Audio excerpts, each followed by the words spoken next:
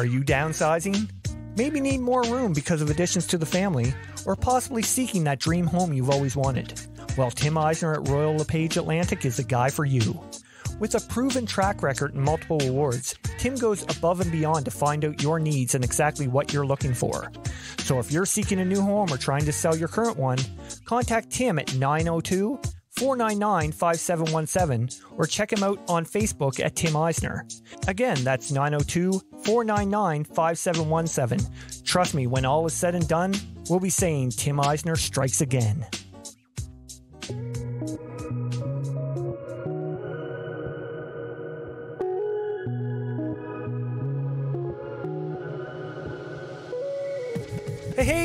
What is going on, everyone? Welcome to episode 92 of Outside the Chute. I'm your host, Randy Frame. Had a little bit of a break there between episodes. Unfortunately, I had a, a bad bout with COVID, but uh, pretty much all over now and uh, ready to get back to showcasing our awesome game. This week's OTC Player of the Week comes to us from the Marlboro High School Lady Dukes as Ava Del Sato takes home the weekly honors. Ava went 10 for 12 with 4 home runs and 13 RBIs, along with firing a no hitter with 10 Ks in their opening game of the season this past week. Awesome job, Ava. Best of luck the rest of the season. On to this week's guest, and we sat down and chatted with ISC and WBSC Hall of Famer and current head coach of the New Zealand Black Sox, one of the best to ever play the game, Mark Sorenson. I'm not even sure where to begin when talking about Mark's accomplishments in the game. Uh, he's a four-time ISF World Champion with the Black Sox as a player. First, with with his first coming at 16 years of age in 1984, and that's just crazy.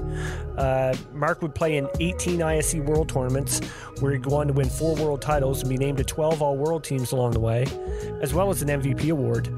As a coach, Mark would guide the Black Sox to a WBSC title in 2017 in Whitehorse, and will be looking to get back on the podium this November at home in New Zealand. We're going to talk to Mark about getting a start in the game in his hometown of Hutt Valley, his travels over North America to play on the ISC circuit during its heyday, those world title wins with the Black Sox, and much, much more.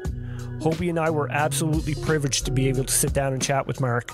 Uh, to hear his stories about playing our game was awesome, and I'm sure everyone that hears this is going to thoroughly enjoy it. With that being said, grab that drink, sit back, relax, because here we go. Got the world in my palm, like camera action, it's on. I can't describe what I'm feeling, ain't never felt this freedom. I got the world in my palm, like camera action, it's on. Ain't never felt this freedom. Could you, could you say that anything goes, anything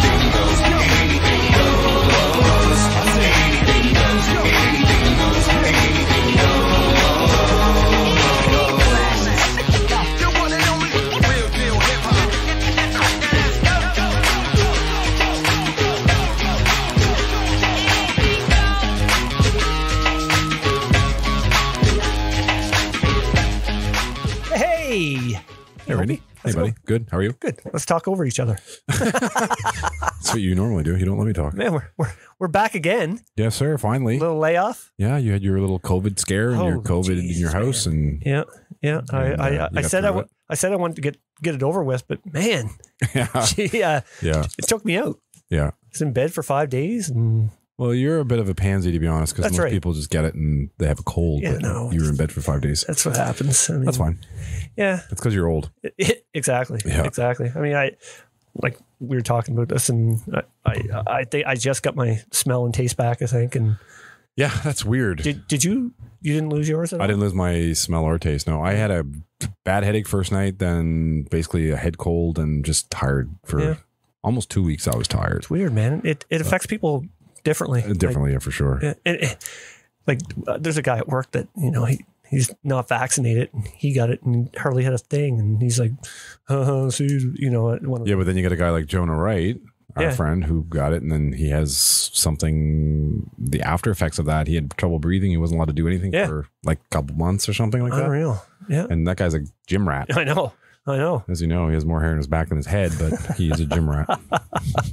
yeah yep. yeah so uh Anyway, we got the uh, Pan Am qualifiers going on. Uh, Yeah, I've been following it a little bit. Uh, there's they're not streaming any of those games, of course. They're Yeah. only going to stream the the actual championship games Yeah. or the the tournament games. But uh, Canada is 2-0 currently in their exhibition season. Hmm. They beat a club team 4-1 and beat Venezuela last night 1 nothing on a Derek Mason walk. Oh, in the Mace. Sixth inning. Macer.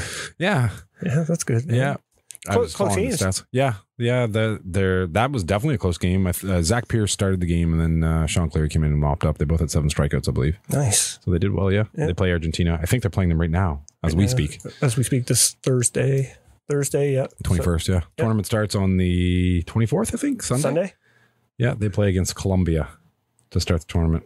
Right on. Yeah. So best of luck to those guys, and uh, well, you know, best of luck to all the all the teams, I guess. It's gonna be nice to, you know, watch some ball again on online, like some top end top end ball from the from the men's side. Absolutely. Yeah. So uh Yeah. It'll be interesting to watch. Hopefully they do well. absolutely. There's one person I wish that was there, and you do too. Yeah. But anyway, aside from that, It is what it is. It is what it is. Yeah. We uh we got a pretty pretty big guest today. yeah, not a bad one. Man, I'm excited for this. Like yeah, talking to one of, legit, we're playing talking to one of the best to ever play the game. yeah. Mark Sorenson. Some people will just claim he is the best that ever played the yeah, game. Yeah. he's he's done it all. I mean, played in 18 ISCs and got an all world 12 times. Yeah, it's pretty good. Should ask him what happened to the other six. yeah, Come on, Mark. What- someone batted 566, and he only batted 565. Yeah, Yeah, no, so, uh, pretty incredible. Yeah, and- and like I was saying earlier, I mean, I, I listened to his, his podcast with the, you know, the boys down down there, Chopper and Damien beyond Yeah. the dugout, and it was fantastic job. Yeah, He uh, had a lot of great stories. Uh, a couple I'm definitely going to touch on yeah, for, for, him sure. to for him to to talk about again because they're pretty funny. yeah, So uh, anyway, yeah, it's uh, it's going to be an honor to actually talk to Mark and uh, and see what he has to say. yeah, hundred percent. Looking forward to uh, the weather starting to turn around a little bit now. It's still Mhm. cold outside, but it's starting to. It's really windy. Yeah, starting to dry up a little bit. So hopefully we can get out in the ball field pretty soon. Yeah. And uh, you attended uh, the skill session last night with the the kids. yeah, said. a lot of a lot of kids, man. Yeah, so Yeah. we had uh, two groups. Uh, we were missing a couple kids uh, due to work or whatever, but Hmm. um, we had 22 kids in the first session and 18 in the second session. So it was it was good Some and uh, lots of help too.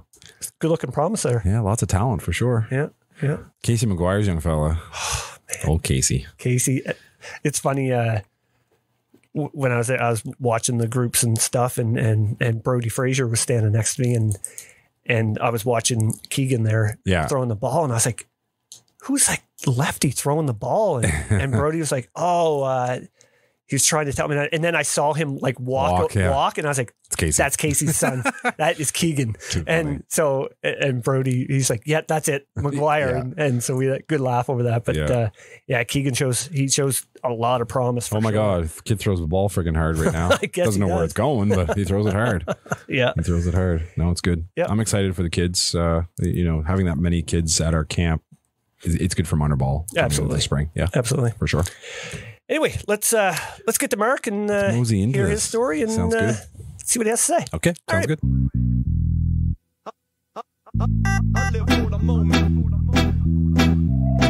Yo.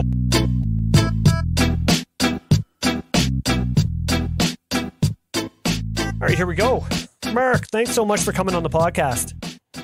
Oh no, it's great to be involved. How- It's amazing what technology can do with us being on uh, in different parts of the world. Absolutely. It took a little bit of time, but I we discussed that before. But uh, how's things going down in New Zealand today?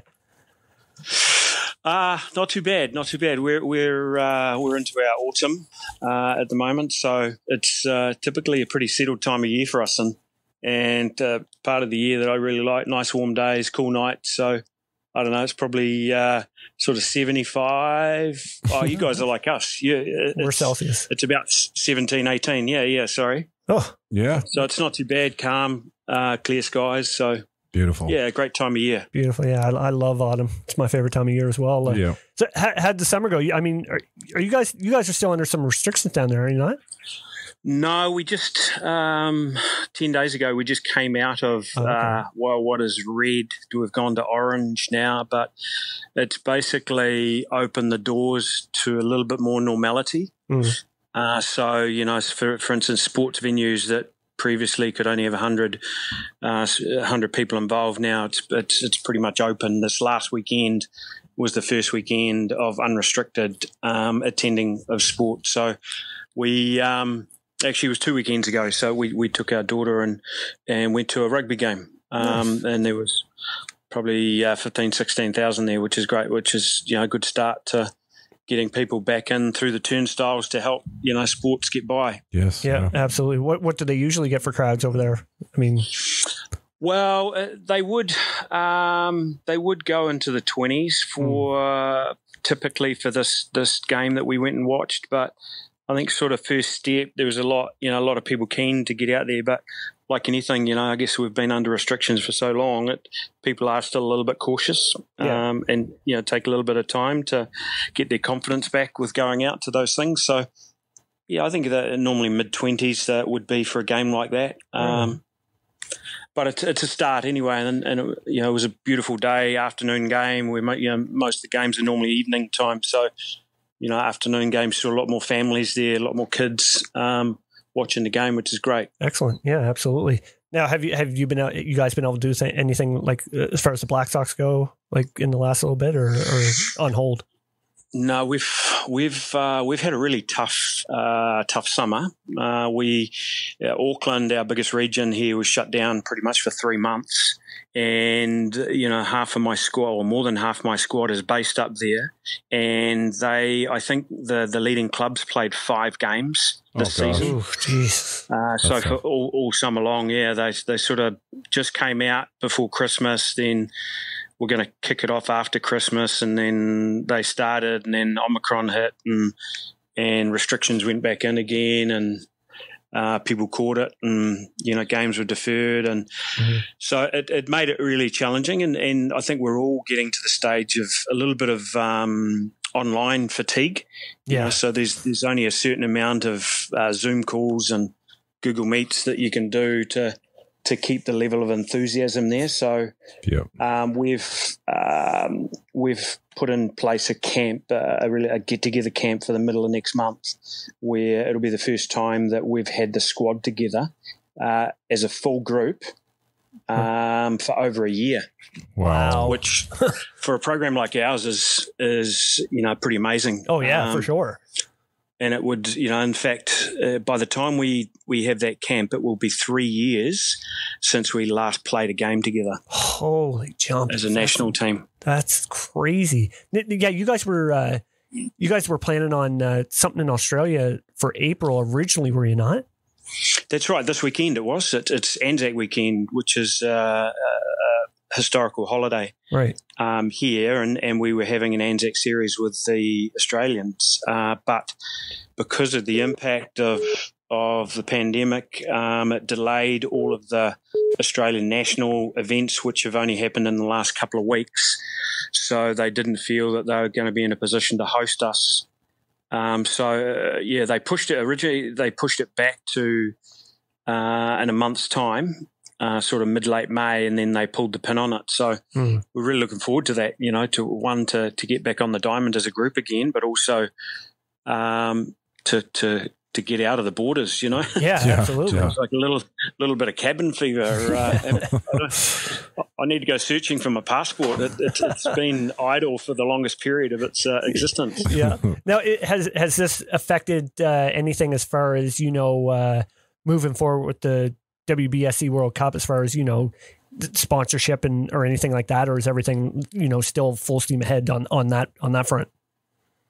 No, I, am led to believe it's it's progressing uh, really well, and the step that the government has made with uh, changing restrictions in the last few weeks has been a another box ticked for us. You know, so it means that uh, we were a little bit nervous if there were going to be the level of restrictions in place that we had previously had. So right. we've opened our borders to Australia um, just this past week, and then it'll be to the rest of the world um, later in the next couple of weeks, two or three weeks in the next month, I think it is. Uh, so it's sort of progressing really well. They've, they've uh, I know they've, uh, they're in the process of um, redoing all of the fields, so all of the surfaces. Um, the local council up in uh, North Harbour is um, has re, is resurfacing everything and improving the drainage and Mhm. uh, putting in some more facilities and stuff, which they did initially back in 2013, which is the last time it was held here. Right. So it's a really well supported area um, for softball, and and they're they're investing something like half a million bucks on improving facilities and stuff. So Wow. from that that angle, it's uh, progressing well. But I, I don't think all uh, I don't think all countries have qualified just yet. Um, I Oh, think right, there's yeah. still some qualification, and maybe it might be the Americas one, which is next month. Yes. I thought. I think so. I think so. I know they're they're doing their. I know it's Pan Am qualifiers like Yeah, right starting now. this weekend. Uh, the 24th, yeah. Yeah, For Canada. that they're doing right now. But uh, yeah, I think you might. I think next next month might be the uh, the World Cup. Because that was delayed as well. Yes. Yeah. Yeah. That's right too. Now uh, we'll get back into we'll get back into the the, Black Sox and what's coming up here a little bit in, in a little bit here. But uh, you know, with with every guest that we have come on, uh, we got to ask how how'd you get your start in the game? Oh, my dad played. Uh, my dad played for the national team. Uh, they weren't the Black Sox then, but um, he he was uh, first base um, and played for uh, the New Zealand softball team from 1966 through to 76. Um, so I um, I think I was at my first softball tournament from from when I was about two or three weeks old. So uh, you know, because mum and dad were heavily involved locally, and uh, you know, you you you get dragged around, and, and it was uh, wasn't long. You know, you have you've got a glove on your hand, and you're throwing a ball, and you're you're in the outfield shagging fly balls, and you want to be like them, and it um, it was I think it was only natural that I you know I followed in Dad's footsteps. Yeah, no doubt. I mean, obviously, your parents, especially your dad, had to be a big influence in your career growing up, right? Oh, for sure. Yeah. You know, just the, the, through the sheer amount of time you spend together, you know, and, and whenever there's an opportunity to go to um, go to the, some of those tournaments, when you when you got old enough, you you're always talking about the game, you're asking questions about the game and why and how and where, and you know, and you're wanting to be. Or for me, it was I was always wanting to be like those guys, you know, and, and play alongside them. Um, you know, and then you get to that stage, and I think I, I, I played my first game of you know like senior ball when when I was 14.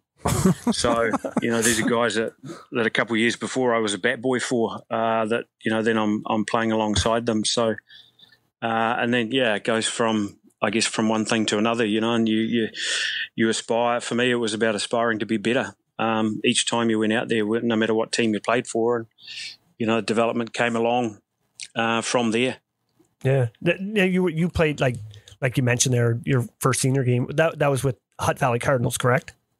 That's right. Yeah, Yeah. yeah. That was my uh, club. Mum and dad were involved with um, all of, you know, all of dad's playing career, um, and the same for me. All of all of my career played with uh, the same club. So what was it like, you know, being 14? Yeah, fourteen and and playing with like grown men like that. yeah. Like that's crazy to think about.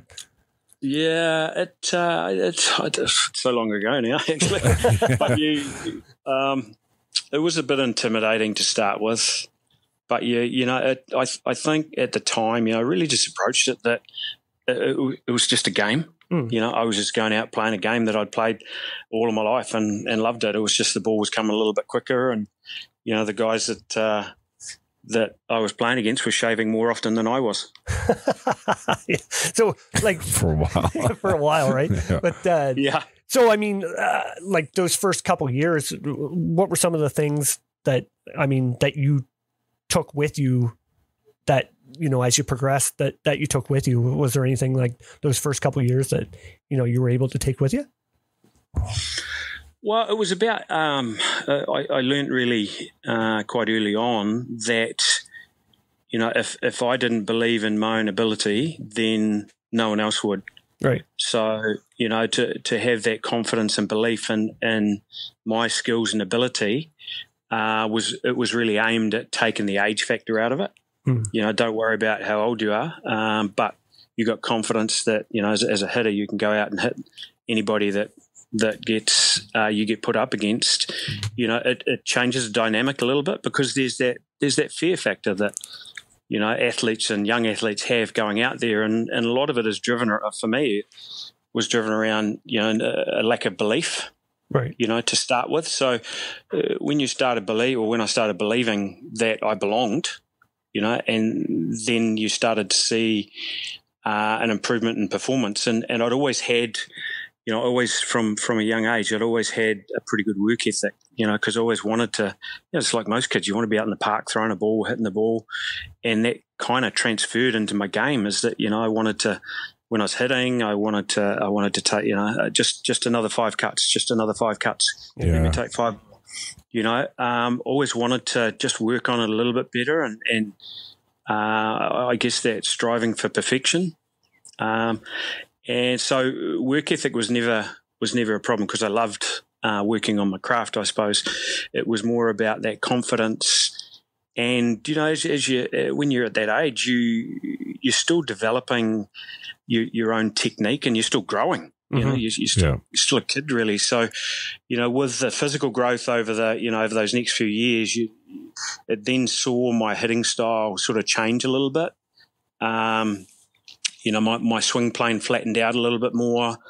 Um, I, uh, my my contact percentage went up. You know, so my strikeouts went down, and it just how evolution sort of took over. And then once that started happening, just all of a sudden it was like uh, some pretty good performances started to follow. You know, and then and then I uh, was fortunate enough to make the Black Sox as a 16 year old, so I'd only been playing for a couple of years. Yeah. Sorry, we're not laughing at you, by the way. It's just amazing.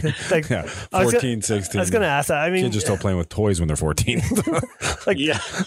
let's jump into 84. I mean, 16 years old, I, I was shooting for a, a Bantam B provincials for freak's sakes. Like, I mean, yeah, And- you're still in beer to your old man's fridge.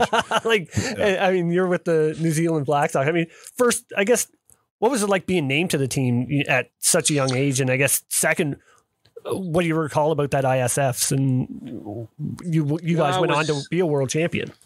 Yeah, we did. Um, it was it was pretty surreal because you sort of started. I started the season. Uh, well, I started that season as a 15 year old. I turned 16 uh, during that season here, and um, I, I I- I remember the year starting out really well and the and sort of our preseason tournament. And you know, as the year wore on, the um, my performance was fairly consistent at most events, and it, it the noise, you know, started uh, growing. I suppose started developing around the possibility of of making that team. Now, I I was predominantly a catcher. Mm. Um, at that age, so you know, uh, doing most of the catching for our Cardinals side, and um, that was the only area of concern was that you know, such a, putting someone in such a key position at such a young age, where Yeah. you know, catches take you got, got to take time to develop and um, and I think I did over time and certainly you know you got I got better behind the plate more from a game management point of view but from raw uh, raw skill and talent I suppose um, you know that was the thing that got me to the stage where you know we were in the Cardinals uh, we had club rooms in those days um, with family and friends and, and the team was named um, over the radio and yeah, it was it was pretty surreal that you know you hear your name be called out, and you knew there's a chance, and you're a little bit, a little bit nervous, a little bit anxious, um, but it was. You know, it was like, geez, if it's not now, there's there's still plenty of time left. I'd say. but it was, uh, yeah, it, it, it did get read out, and it was like, wow. Um, but then, you know, I, I, I went to school the next day. Went high school. Yeah.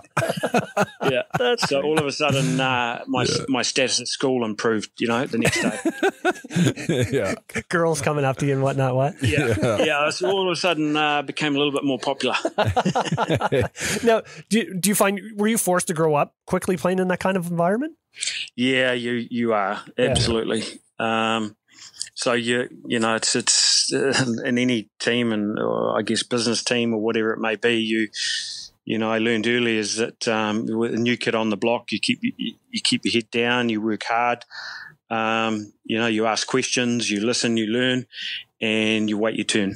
You know, so uh, certainly, you know, just about uh, great skills and values around growing up um, in life. And but the, you know, I, I do remember. So on that trip, we went to uh, we are in California having a build up tour, and the guys the guys were going out to a bar one night, um, and it's and yeah, I just got left at the hotel. You know, you, you're left here.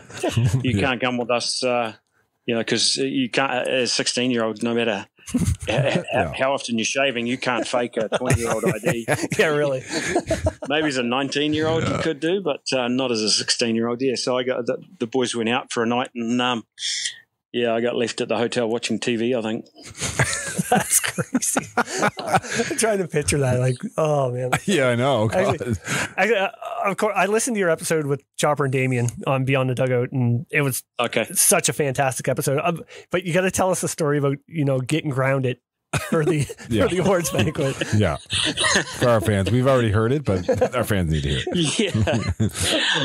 Yeah. yeah. Um, well, it, it it it was that year um, that I got named in the um, uh, I got named in the Black Sox uh, for that that trip, and during that uh, season uh, in Wellington, here where I live, there's. Uh, the region is split into two areas in Hutt Valley, which is where Cardinals is from, and, and I've played in the Hutt Valley, as I said, my whole life. And then there's there's Wellington, and, and post Christmas there's there's a separate league for each area. So post Christmas, traditionally we would play in a, what's called an intercity league, and the top teams, top four from each would play off, and the bottom four would play off. And the players of the day at the time were given a bottle of Coruba rum, which uh, um, you know was was a sponsor of of the event. And I had a couple of uh, player of the day um, awards that I, I, I got at the end after the final um, of the intercity, and and then we also got given one. Uh, for making the Black Sox. So uh, here's me as a 16 year old with, I think I had three or four bottles of um, Coruba rum. Well, you know, you, you, you want to be a man. So um, crack, the, crack the lid off and start drinking away. And um, I think uh, it was about, uh, I'd, by about eight o'clock that night, one of them had gone. Um, so in about three hours, uh, we, we'd knocked off a bottle of Coruba, and I think the guys realised that um, I wasn't in a real fit state to carry on. So uh, they dropped me at home, uh, rang the doorbell, and left. Um, and and I don't remember whether it was mum or dad, but they found me on the front porch, not in a great shape. Um, so took me up to bed, and unfortunately. Um, had a little reflux later on, and um, it didn't it didn't stay down. Um, so I, I was yeah pretty worse for wear. But a consequence of that was that I, I was grounded for um, for our our prize giving, which was the next week. So you know the the club prize giving, and our club had sort of six or eight teams there, and so there's I don't know maybe a hundred odd people um, at the prize giving, and, and I was allowed to turn up for our team prize giving and to receive an award for making the national side, and then I had to go home. Uh, so, yeah, made the national team, but uh, was grounded Yeah. for the prize giving. Oh, the, when when I heard that story, there, I, I laughed so hard. I, I just I'm just picturing like you're on the New Zealand Black Sox, but you're, you're But grounded. yeah, yeah. Oh wow, that's a such a great story. Now, Mark, I got to ask you about uh, how did the opportunity to come play over in Amer- North America take place? Well, it sort of started, I think. Uh, I'm trying to think when the first players went over there, maybe late 70s. Um, the first New Zealanders went over there, and they were typically pitchers. Uh, and then they, you know, got a name for themselves. New Zealand got a, a, a pretty good name with providing pitchers, and sort of late seventies, eighties. You know, the um, the Kevin Hurleys and you know Paul McGann's and Steve Schultz and Yeah. you know the name, the list names uh, could go on. And I guess from there they then started to look. Say, well, okay, if they've got you know really good pitching down there, they must have some decent players to be able to hit that pitching. So it sort of went from one stage to another, and then uh, some of the guys uh, got got an opportunity as position players to go over, and thankfully, um, the first guys that went over ma- made a good fist of it, and so then, you know, the the clubs came knocking and looking for other players, and you know, then you know we we, we play a sport that's got a pretty small Yeah. um, world, you know. Yeah. So it, it's a bit of a village, really, isn't it? I mean, so you, you know, hey, we're looking for a good young catcher. um, you got anyone down there? And it's like, yeah. So uh, Paul McGann, uh, no, it was Peter Meredith. Sorry, Peter Meredith was playing with uh, Madison the Farm, and they were looking for a catcher. And then, yeah, long story short, they reached out, and you know, I went from uh, I think this time of year. Play, uh, doing preseason rugby training for my local club to all of a sudden then being on the plane and headed to Madison, Wisconsin as an 18 year old um, for six months for first time away from home. That's crazy. Then like 18 years old going to the farm. Like of all the teams, gosh, yeah. the farm, like Yeah. they're world renowned. Like Yeah. the farm. What uh, what do you remember about arriving there? I remember that Meredith picked me up uh, with Rod Peterson and on the first night and we surprisingly they went drinking um, from the farm. And uh, we were downtown in Madison and and I was yeah I just traveled for you know 28 or 30 hours halfway around the world and you're going your time zones all messed up. Um, you know you're tired after travel and downtown. But I, I was certainly starstruck because Madison is uh, a pretty cool place. Mm. and you know, sort of uh, April time, um, sort of April, I think it was late April that I went over there. UW Madison is still in. Um, so it's pretty active um, downtown there. Yep. So it, um, yeah, I, I, I was, I think I was walking around with, with, uh, with my tongue hanging out, dribbling the whole time, and I just in, in awe, in awe of what I was seeing. Um, and then I turned around and Meredith was gone. Um, he'd uh, he'd he'd uh, reconnected with an old friend, and uh, he left me downtown. So thankfully, halfway around the world, not knowing, not knowing anyone, um, thankfully one of his buddies who he introduced me to said, "Oh, Pete's gone. You better come with me for the night, and I'll hook you back up with him tomorrow." So yeah, first night away in a different country, um, I'm stranded thinking, oh my gosh, where, where am I going to stay tonight? I've got all my gear. Uh, yeah. Welcome But, to yeah, America. That's, that's the last. yeah. yeah, that's it. Thanks a lot, Pete. Oh, that's crazy. What do But I, I really enjoyed that year. You know, it was I can imagine. kind of a um, kind of a breakout year, I suppose. You know, you, you're cutting the shackles and Hmm. going overseas and playing with different players and different leagues and different areas and different interpretation. Yeah. You know how the game is played. So. Um, I, I, I think overall I did okay that year. It wasn't it wasn't a banner year, but sort of it was more of a breakout than anything else. what was it like playing in that Uh, first ISC tournament? Oh, it was pretty cool. Yeah. yeah, it was pretty cool. We, I, I remember, unfortunately, we lost the game. Opening night, we played um, the Tulsa Firebirds, uh, my first ISC game, and it was a guy pitching for them called Mike Coombs, and a big old farm boy from you know um, Oklahoma, and and he just threw hard down and change, and we we got beaten on a, a, a Meredith pitching. Uh, we got beaten on a bloop single where they scored one run, and that was kind of Meredith's. Uh, I guess his mo with the farm was that he would keep them in games, but they couldn't score a Yeah, runs. that's right. Yeah. Uh, you know, for so long. Uh, but yeah, opening night it was in Sioux City, ironically, which is where I ended up, you know, spending a great deal of my career and had a lot of success. So on the main diamond in Sioux City and and playing that. Um, and funnily enough, I ended up. I, I think I uh, I was hitting three to to start that event, um, which isn't you know uh, I suppose as an eighteen year old isn't a isn't a bad start for your first ISC. That's all right. yeah, I didn't get a hit though, but uh, hey, But it's, no, it's the it was- experience, right? yeah, yeah, it it it was really um, what I found about the ISC there. It was really contagious Hmm. in that you know it made me want more because I could see you know these teams that you know you get through to Wednesday, Thursday, and the teams are still playing. And I hung around for a couple of days after because I was I was living with um, good Canadian boy Mike Piechnik. Ah, peaches. And- Just, yeah. Peaches, yeah, yeah. So we uh, we stuck around for a couple of extra days and uh, watched a few more games, and and to see those teams that were were, were playing later in the week, Mhm. you know, it was like, wow, the standard of ball here is really quite cool. Um, you know, I, I want to be there. Um, I want to be a part of this. I want to, you know, I want to play on Friday and Saturday and get to championship game. Yeah. So it's sort of that that led to that uh, that drive to uh, want to be better. But as I said, you know, it, uh, it was really contagious. I wanted to go back, and, and I left there with with a real buzz. You know, you're sort of on cloud nine. Go, wow, this is the standard I need to get to. Yeah. Um, you know, and how do we best do it? So, what led to the move to Sioux City? Um, well, uh, dollars, I suppose. Yeah. Um, from uh, you know, it, it it was a great year with the farm, but it wasn't. They they I wasn't going to get to where I wanted to go by playing there.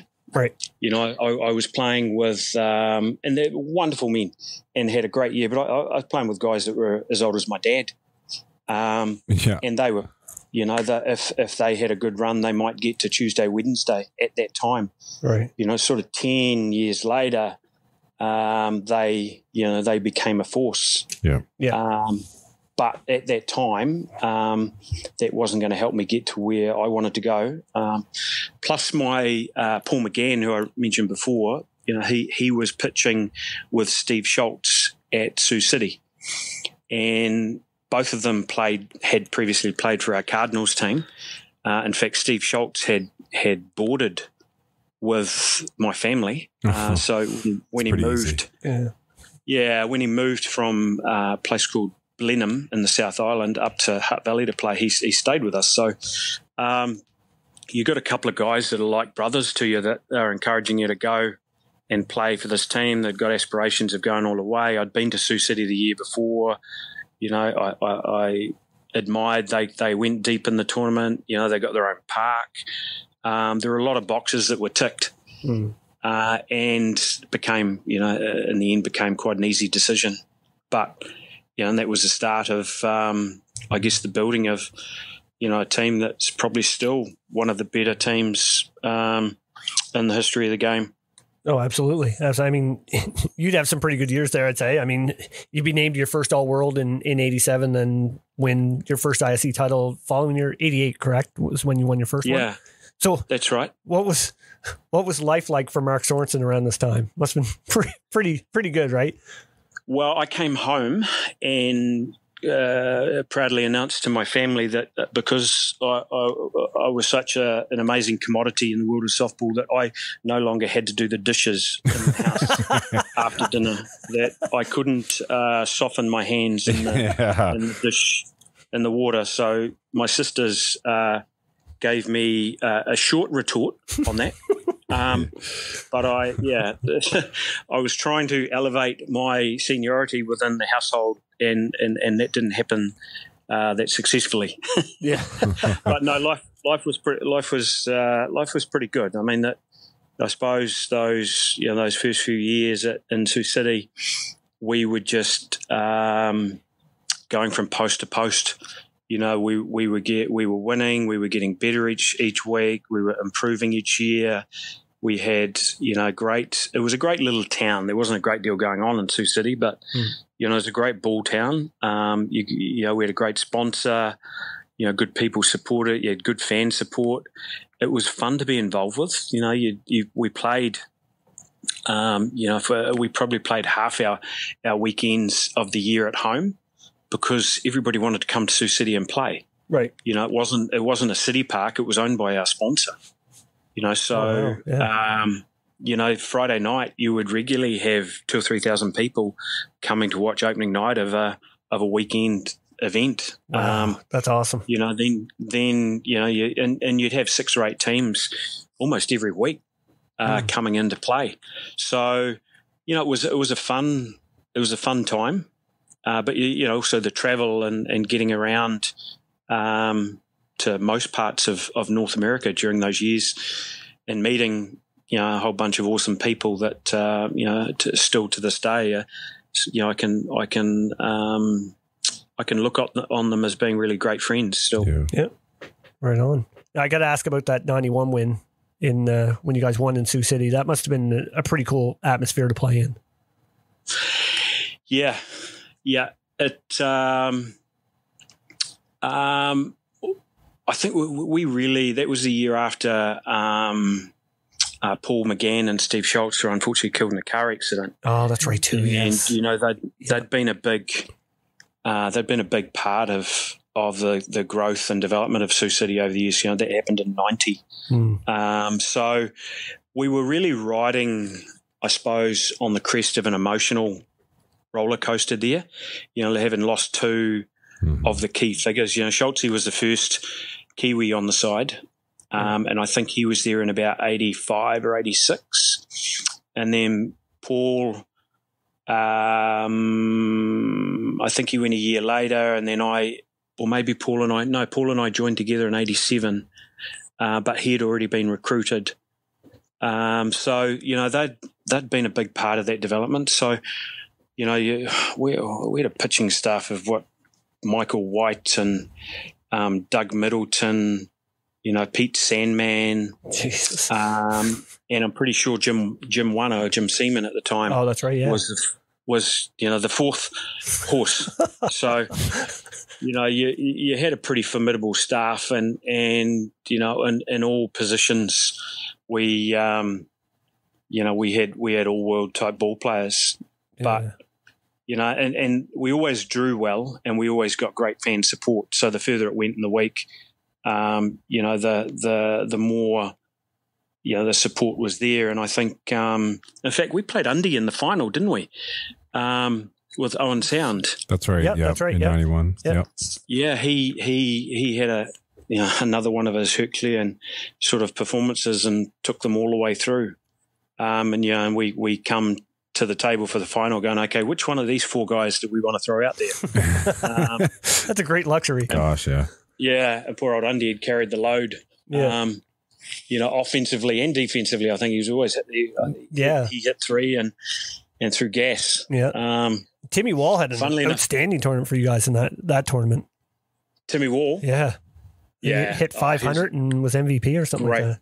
great ball player. Mm. Yeah, yeah. You, as I said, world class guys all the way around, and and, and that uh, the thing about that is, then you only just um, have to worry about your performance. That's right. You know, you, you you're not worrying about anyone else. You know, other people are going to do their job, and and the biggest challenge for Russell Boyce, um, our manager at the time, was you know was pulling the personalities together uh, because you you've got people from you know you've got Canadians, you've got Americans, you've got Kiwis. Um, you know, athletes all have egos. Yeah. So you know, molding a group together that uh, perform to a high level. It, it- just having the best talent doesn't mean you're going to succeed. Mhm. And I think that was one of Russ's uh, phenomenal strengths. Was you know he he was a real man manager, a real people manager, and he managed to pull that group together.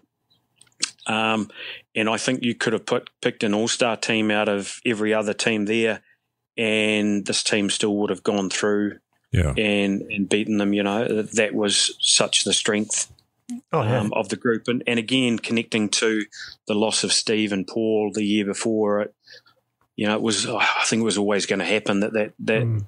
that was our sort of catch cry and emotional. You know, trigger all year was you know doing it for those guys, especially with it being at home. Yeah, no, no, no. I mean, having having something like that to play for and having the team chemistry. I mean, that's that's a hard recipe to beat right there. 100%. Yeah, yeah, and the chemistry side of things, I think a lot of teams underestimate. You Oh, know, I think teams absolutely. now now are starting to realise, you know, uh, well, it's, you know, there's so many, um, there's so many, you know, catch cries and phrases and stuff that you can use for it. But you know, if you if you get a group of athletes that you know are prepared to sacrifice something and and commit to a common cause.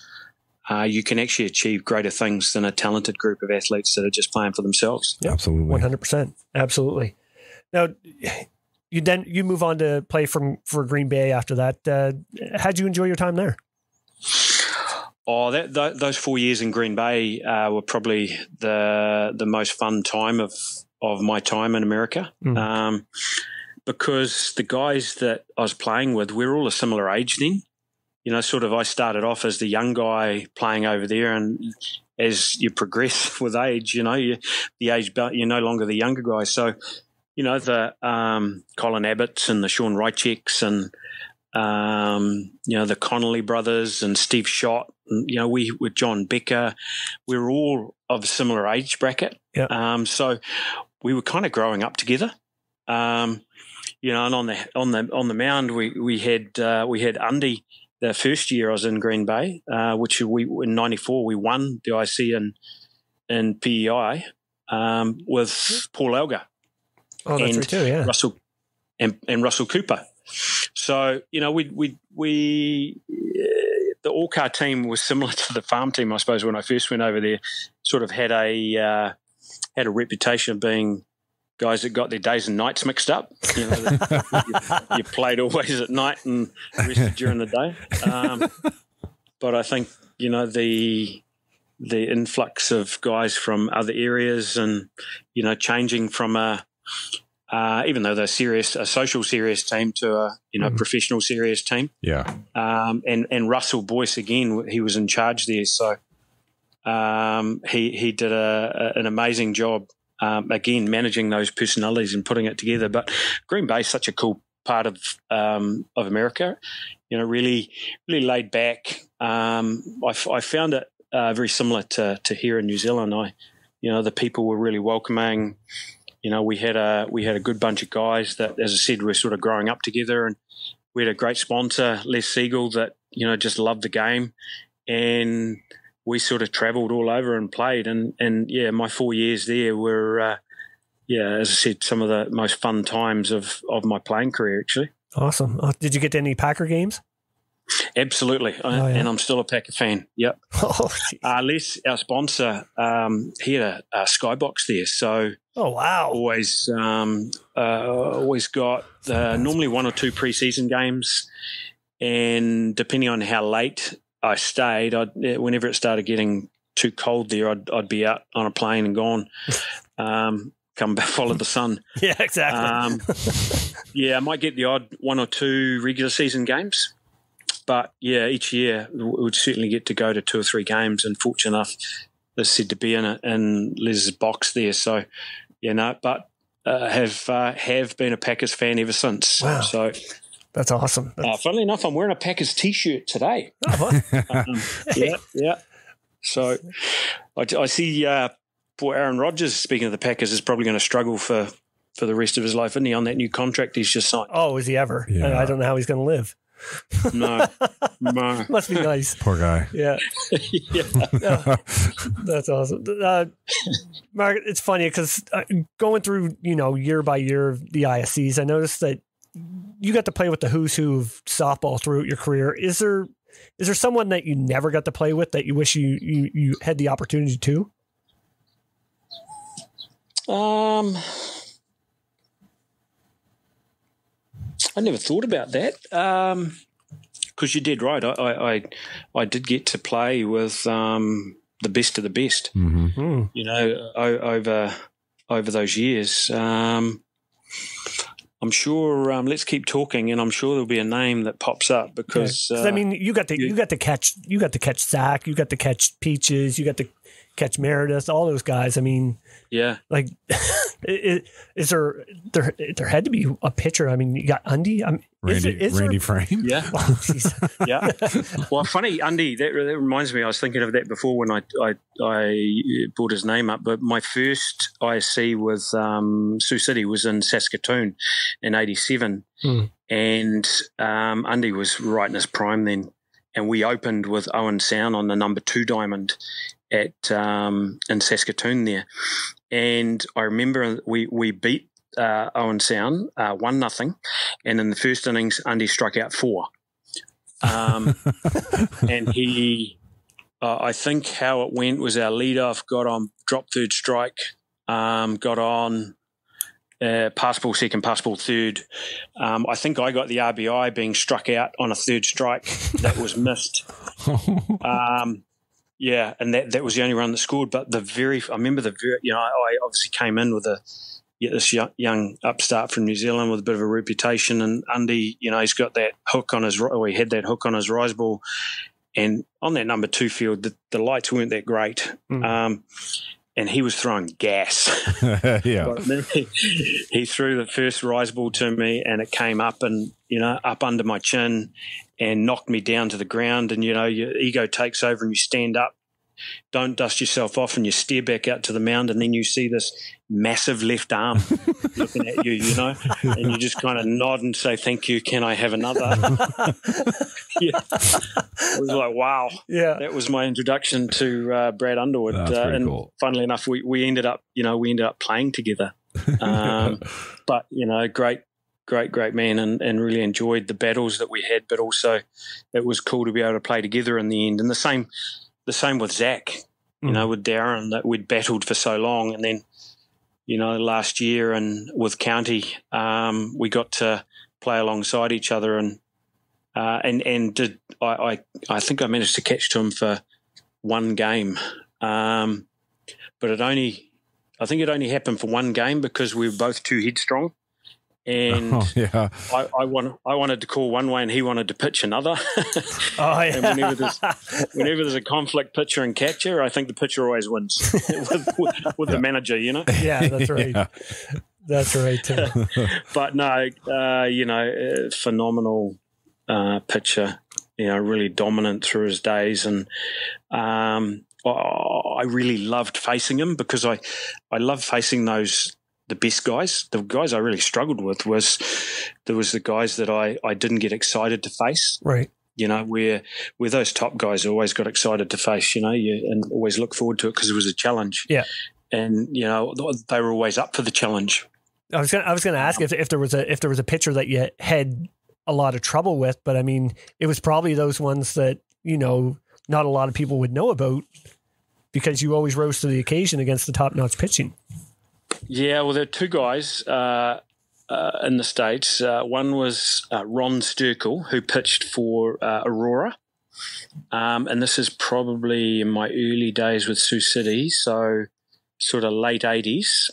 Um, and Ron was a was a uh, an older guy that had been around for a while, and and his I think it was his dad was um, the great Harvey Sterkel, uh, that pitched for US teams, and I, I think my dad played against him at, a, at an ISF. Oh wow. But he uh, he was a power pitcher, but Ron had the most amazing changeup, and you know I prided myself on being able to pick pitches and um, work out what was happening before it was pitched, but I couldn't get anything. And you know what? It, it didn't matter if I swung two or three times, I, I didn't hit it off him. I think him and a guy, uh, Pete Kuhlenkamp from Illinois. Now, Pete was about 100 when he finished pitching against me, I think. um, and he, he used to hobble onto the diamond, left hander, and he used to throw these little wrinkly pitches that I had no idea what was happening.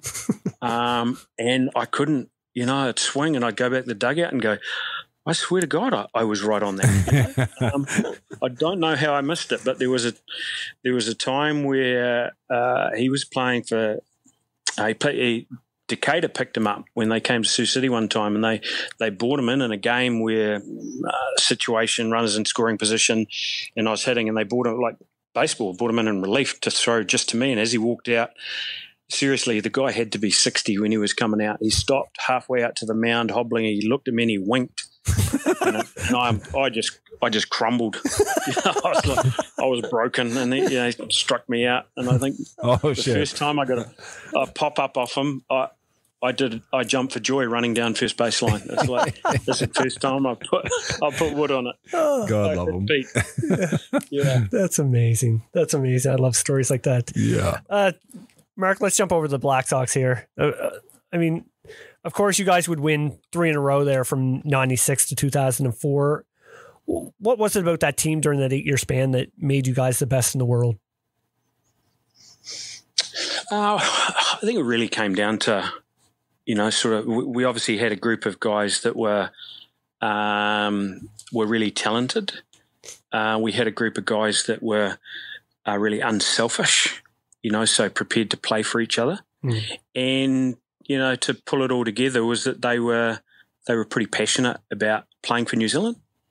So you know, if you can if you can get that kind of connectivity um, with with a group with some talent, um, you know, and you get that chemistry right that we talked about before, you you can achieve great things, and you know, obviously we did through that time.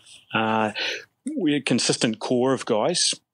You know, '96 we were quite a young team, uh, and then you know got better in 2000, and and then it culminated in 2004, where I think you know it was when we were at the peak of our powers. Mhm. You know that that is I, I've never been a part of a group that worked as hard as that team did, um, because it was the first time it was going to be held here in New Zealand for since uh, 1976, you know, and, and and at that time my dad played in that event, so you know it was a long time between drinks, um, and just uh, I guess to give an example of the you know the the focus and connectivity is that we. You know, uh, obviously our, our summer is, is October through March. So, Yeah. you know, we, we're playing through Christmas and typically it will break over Christmas and you know there'll, there'll be a couple of weeks off while for the festivities and stuff, and then you get started back into it and in sort of early mid January. Um, but that particular year, you know, we're we're all on training programs and stuff, and uh, and I remember the the day after Christmas Day, Boxing Day, uh, you know, we'd all you know, celebrate and stuff, and it was. Um, you know, I said to my wife that, that I'm going to go to the gym uh, and have a workout. So I went to the gym for a workout and I walk in there and there were five other of my team members that had thought the same thing So on the same day. That's so awesome. So there was six of us there training, um, and it wasn't an organised session, you know. So I kind of walked in and I saw everybody at different in different corners of the gym, and and just kind of nodded, you know. It's like, yeah, this is special. Yeah. You know, this is this is the stuff that you can't script because it, it just has to be something that you know is driven by the individual. So, you know, little things like that that um, that contributed to the success. You know, so on Boxing Day, you've got six guys going when you know most others are going to be sitting back in the sun with a barbecue and a beer. Mm. Uh, it's not saying we didn't do that later in the day. But- absolutely. we, we took we took care of business early, which you know um, doesn't sound like a lot, but in in a team perspective, when you're trying to get everybody rowing the boat in the same direction, it um, it was really important, but very very cool. Yeah, no doubt. I was going to ask you, you know, about all those world title wins. It, like they're all special, of course. If there was one that has a little bit more meaning, was 2004 a little bit more special for you? Yeah, I, th- I think you know I've referred to that. You know, I guess since I've stopped playing a few times uh, because I think it it was it was also my best performance. You know, for, um, uh, offensively and defensively. Um, That's because of Tosh, Uh, wasn't it? Because of Tosh, yes, it was. He gave me he gave me a pouch of Red Man. Don't tell don't tell anyone that. yeah, yeah, that's right. It was I was hanging out for a for a chew. Uh, yeah, I think I think he gave it to me on the, the last game of round robin, and after that, I think I went nine, Nine for for 11. 11. that's, Yeah. that's unreal. that's crazy. yeah. Oh, funny. Nah, it. Uh, but I, you know, you play your whole. Well, I played my whole career, and it was you wanted to, um, you know, to get the opportunity to play in front of, you know, your family, your friends, and and the softball public. Um, was a real great opportunity, and that was something that we talked about a lot. Is that we, you know, we we didn't want to miss the opportunity to show the rest of New Zealand what a special group we had. You know, so it was never we, we, we've never spent a huge amount of time focusing on. And this may sound strange, but focusing on winning. You know, it's always been about quality performance and, and quality people.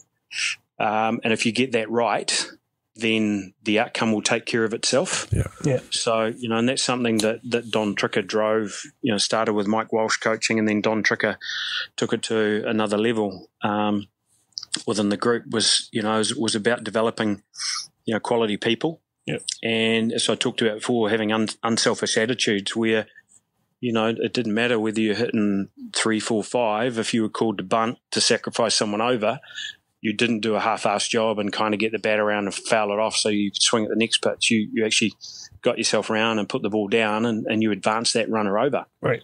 Um, you know, just the simple things where, you know, uh, a lot of guys make the mistake of trying to, you know, trying to hit that three-run home run with no one on base.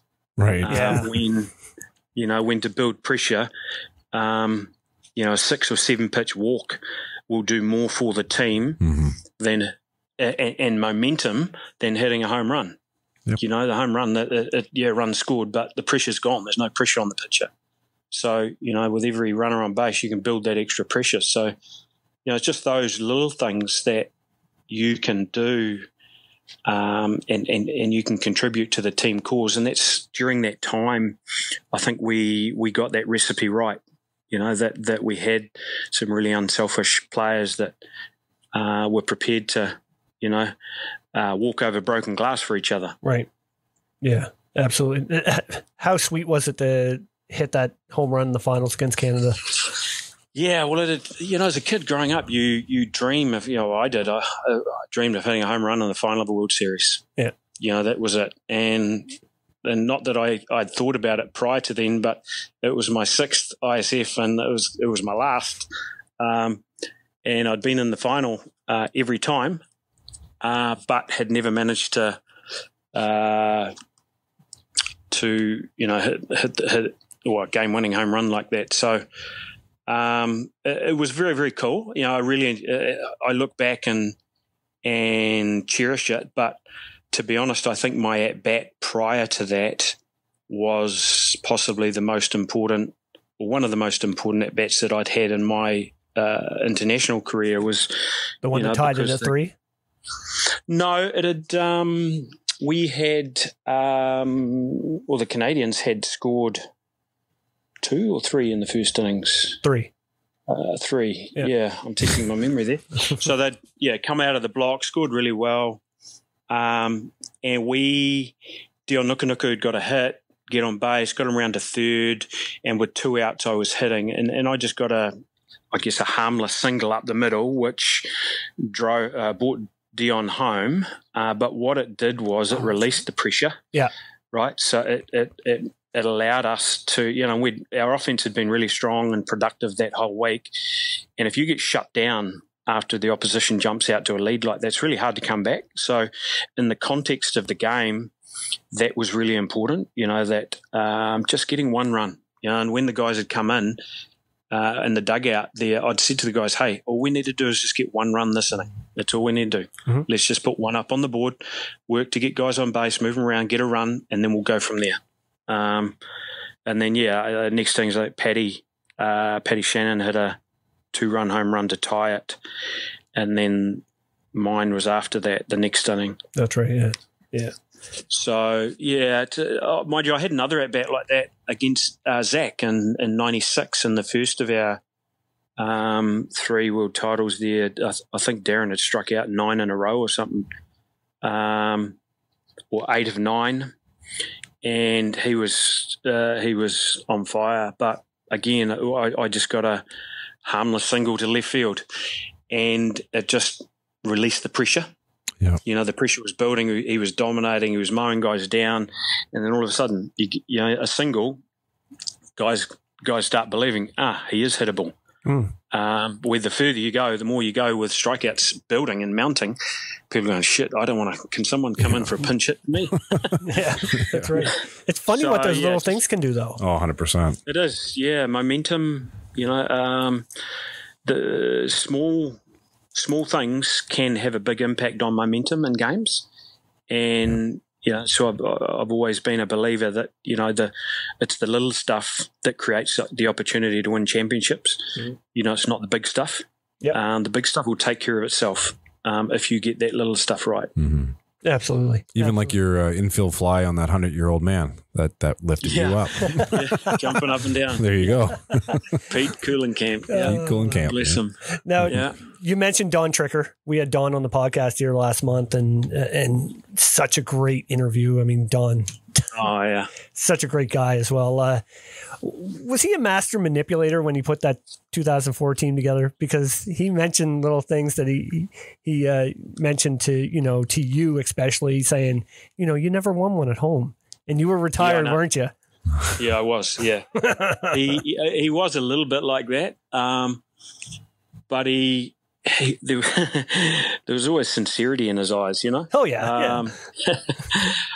Uh, he certainly um, knew how to pull the right strings. Yeah. and did uh, did a huge amount of work with that group, and it started before 2000. You know, when he, he took over in about 98, I think it was, um, about developing that unselfish attitude. But you know, he he created an environment where, you know, I don't ever recall him calling a hit and run or a squeeze. Um, I don't ever recall us, us stealing a huge amount of bases.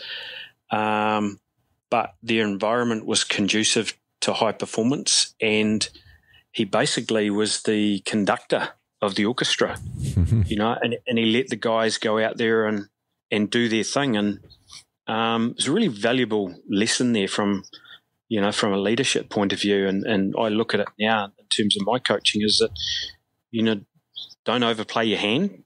Um, you know, create their environment, you know, upskill the athletes, you know, provide the right platform, and then let them do their job. Mm-hmm. Right. Uh, and that's and that's what Don, uh, what Don did so well.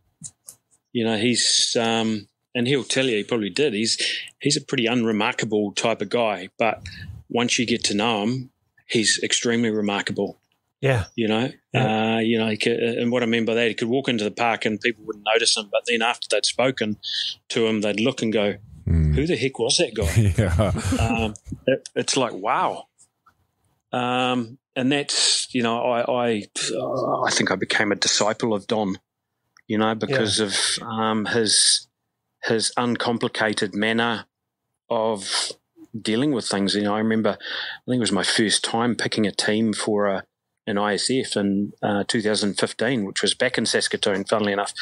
Um, and I called Don, and you know he he was obviously long since retired, and he was working for the All Blacks then. And called him and said, "We need a coffee." And he said, "Okay, what's the brief?" And I said, "I got a selection problem." And he said, "Okay." So we were we were supposed to be meeting for a coffee uh, at a cafe down the road from his office, but he said, "Hey, got a lot of lot of stuff on. Come up to the office. You know, New Zealand rugby uh, for uh, the, over here for us is that's the pinnacle. You know, so walking into the offices of New Zealand Rugby in Wellington was was pretty cool. You know, I'm like, wow. And then seeing Don uh, walk through and everybody sort of interact with him, knowing it was one of our guys, you know, that he cut his teeth playing softball, Right. you know, sort of added to it. So he said, "Oh, the meeting rooms are uh, tied up. Let's uh, let's go in here." And we went into the office of the CEO, a, a guy by the name of Steve Tew. And then so I'm thinking, "Holy shit!" We're in the, the office of the CEO, and he's got one of these walls with that, that are painted with whiteboard paint, and he had a whole bunch of stuff written on this this whiteboard. And Don grabs, so I just remember him grabbing the, you know, the whiteboard eraser and wiping it all off. And I'm like, Don, what are you doing? He goes, just creating some space for us to write on. I'm like, yeah, but all that stuff that's written on there. Oh, he goes, oh, he'll he'll have it written down somewhere. And I'm like, oh, oh, okay. That's amazing. Um, yeah, and he, he he he just said to me, he said, "Okay, what's the problem?" I said, "Well, I've got three guys for two positions, um, but I'm getting emotionally tied up. You know, here I'm getting myself in knots." And he said, "Okay, what are the critical things that you want from your catches?" And I we listed four or five things out, and he said, "Okay, I want you to rank each player one to three on those four or five, you know, criteria that you put there." And I went, "Okay."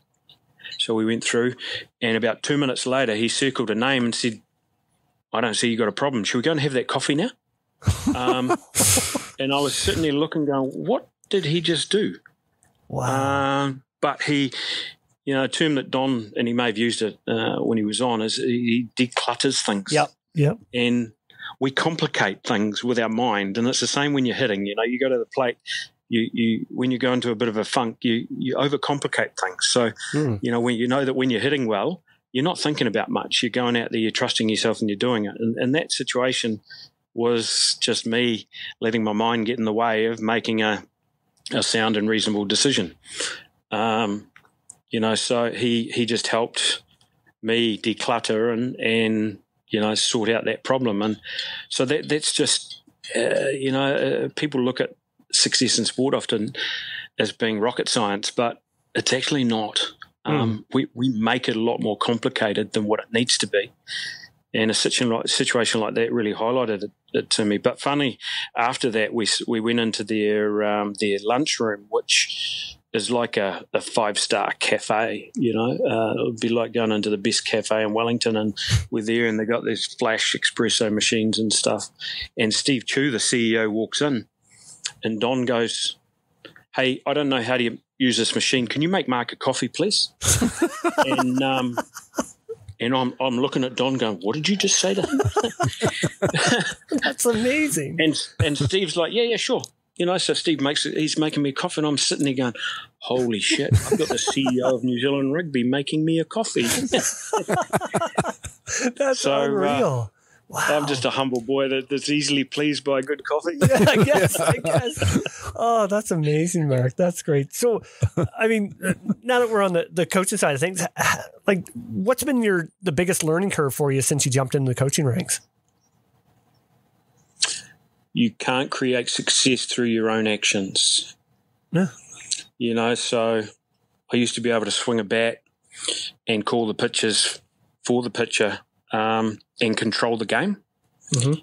And that was the biggest challenge I found in the beginning was standing on third base coaching and not being able to do the things that I could do before. Right. You know, so um, you know the, the success of the team has to come through the work that you do developing the team.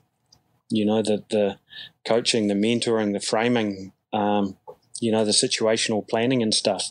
So yeah, it was it was transferring my IP from a player to a coach, and yeah, that took some time. Um, and did I get it right all the time? Nope, nope. But you, I've always been one that's been pretty honest um, and honest with myself in, in reflection. You always do a lot of self analysis Mhm. um, in terms of what went well, what didn't go well, what could I do better, and yeah, through you know, uh, it's like like anything. The more time you have in the saddle, the more comfortable you get. Yeah. And uh, geez, I remember the first time coaching uh, out of third base there. I was like a cat on a hot tin roof, you know, signals bouncing around and stuff. It's like, yeah, actually, I can't have the same level of activation I had when I was playing when you're coaching, because then you get a guy striking out and you you're screwing your face up or Yeah. uh, uh, pu- uh, fist pumping your hand, going, ah, damn it, you know. So athletes, you know, watch, and the, the guys watched my reaction, you know, and Right. and if they didn't perform, and I reacted uh, not positively, it affected them. You know, they it, crea- it created a um, uh, an environment of fear. You know, we don't want to we don't want to upset Mark Right. um, you know, so it, it created pressure. So, you know, and that comes about through, you know, you do debriefs and stuff, and and then someone, uh, a lot of uh, this type of development takes a lot of courage because it takes courage for someone uh, within a group to say to me and and you know Mark Sorenson, this this demigod of softball, apparently, um, that what he's doing is affecting the way that we're playing. So, you know, it, it, it meant that I had to adjust. Because what, what, what happens down here is that if I walk into a softball park on a Saturday and I say that we should run the opposite way around the bases because that's how I feel like it should be on the day, people will say, yes, sir. Yes, Mark. Yes, Mark. Okay, we'll do that today. No problem. You know, so you never get questioned. Right. Um, so the courage to have, you know, to be able to have that discussion, um, I, I understood the significance of that. Right. So it meant that you know I needed to change. Um, and those again, it's those little things that you you take for granted, you know, and you you hop there. So yeah, now I'd like to think I'm I'm a lot um, a lot more calmer and mellow at, at third base Yeah. than than I was at the start. yeah. Um, but it's you know it's it's life and it? it's about evolving and evolution's got to be a really important part of our game. Absolutely. How special was that uh, 2017 win up here in Canada? Oh, that that would probably be the second, um, you know, most uh, satisfying World Cup win for me. Mm. You know, mainly because yeah, there's there's uh, you know, the Black Sox had built, you know, certainly a, a, legacy and a reputation of success, and but it's it's not a guarantee. It's not a lay down misère. So to be a part of, um, you know, a coaching group that took a group of young men that you know, two years prior in Saskatoon, we were sort of unheralded. We had a lot of new guys. You know, we, we had to bring, uh, we sort of had a changing of the guard post the 2013 event I mentioned earlier here at home. You know, we lost a lot of the, you know, the Jared Martins and the Thomas Markiers and uh, Reese, uh, the Reese Casleys and, you know, the we didn't have many of those um, experienced guys left. So to to climb back up that mountain with uh, a group that had a couple of years before been relatively unheralded, although we were five nothing up in the final against Canada. yep. Um, I thought I'd bring that up before you guys did. Oh, we um, won't do that. We're, we're, not. We're not allowed to say Steve Mullally here. yeah. No. Oh, God, I've had years of therapy to get over that. So, sorry. Uh, every time I, I, walk by Steve, I look at him and just shake my head. Um, but yeah, to, it was pretty. Yeah, it was it was pretty satisfying. Um, yeah. To it, special to, you know, yeah, it's uh, I'm still still growing, I suppose, and evolving as a coach, and you know, to and it doesn't always work. People that that had uh, great playing careers, um, you know, transferring over into the coaching side of it and having success. So to be able to, um, you know, achieve that, it really, you know, really sits very, very highly in terms of my satisfaction scale. You know that because I know as a player, you never fully appreciate what's involved in running a campaign. Mm. You know, you turn you turn up to an event and you play and you do that, but you don't realise how much goes on behind the scenes um, and how much work. And you know, I quite often you know, tell people that, geez, in this role, eighty percent of my job is away from the diamond. Yep. Yeah. Um, you know, and then what you see at, at a training camp or at a at an event is is just a small snippet of what we've actually done. Because so you you appreciate it you know, um, quite a lot more than what you do. I think you did as a player. Yeah. Yeah. Absolutely. 100%. I mean, we, we talk about it here. Like us, me and Chris are, we're coaching with the senior team here in, in East Hants and hope you'd agree with this. Like, oh my gosh, yeah, it's, 80, it's never 8% yeah. is off the field stuff that yeah. we have to deal with. It's been on all, yep. all winter and we haven't even stepped on the field yet. Yeah. Yeah. Yep. No, I agree. But I love it, so yeah. I wouldn't change it for anything. Yeah, absolutely. no, well, it's I, I am uh, coaching my daughter's. Uh, uh, she's in a under thirteen team and coached them for the last couple of years. And and after we had uh, after we went to uh, Prague and and we didn't do so well a couple of years ago. Um, had a, a review with High, High Performance Sport. Now, High Performance Sport is, is like our fun, government funding agency that provides us the support to run our programs. And uh, I had, you know, had a three hour uh, debrief with them in front of a panel of five people. And, you know, they're throwing questions at you left, right, and centre. And, um, and they asked me, you know, so what are you doing personally to ensure that um, you're going to be better next time, you know, in terms of personal development. And I said, I'm coaching, at the time it was an under 11 team. And I said, I'm coaching the Parramatta Plympton under 11 cheetahs. and they kind of, yeah, they kind of look sideways and then they yeah. look at me and go, okay, uh, go a little bit further. And it's like, well, that's where it all started for me. Yeah. yeah. You know, that, that's, that's where the, uh, my, yeah, my daughter plays, but actually the kids come along to play the game for fun. Yeah. And, you know, I just want uh, each week I go out there and I try and make it fun for them. So it doesn't, you know, if we've got runners on first and second, uh, the opposition does, you know, I'm just telling the girls to throw it to first base. Just get in out. Don't worry about the forced play. Let's learn about that later. So it's te- it's it's peeling things away. I'm really privileged. You know, I've been to the I go to World Cups. I've been to the you know to the uh, Padre Spring Training. I get to go to all these things, but this is grounding me. Mm-hmm. You know, yeah. this has taken me back to what, why I started playing the game. Mm. So, you know, and that's really important. And they kind of nodded and went, "Okay, I get it. Thank you." Wow, that's a good. way- That's So Mic it's just honest, you know. great, great perspective right there. Yeah, 100%. Jesus. So uh, I guess I mean we touched on a little bit at the beginning there about uh, you guys hosting here in November. Obviously, looking forward to that. I mean, the home crowd again back for the WBSC World Cup. That's going to be uh, quite an event. Oh, I think it is, and I, but I think every every country is going to be uh, jumping out of their skin Oh, that's looking right. Yeah. forward to playing the event. You know, we've we've all been on um, under such restrictions for so long now that you know coming back.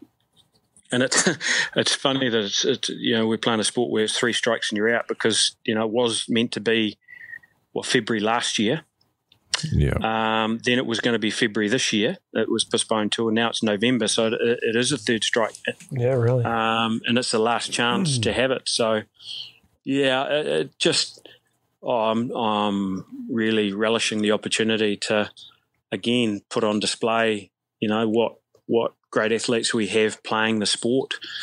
Because in, in recent times, sort of last the last five years, there's there's been a bit of a growth around baseball here.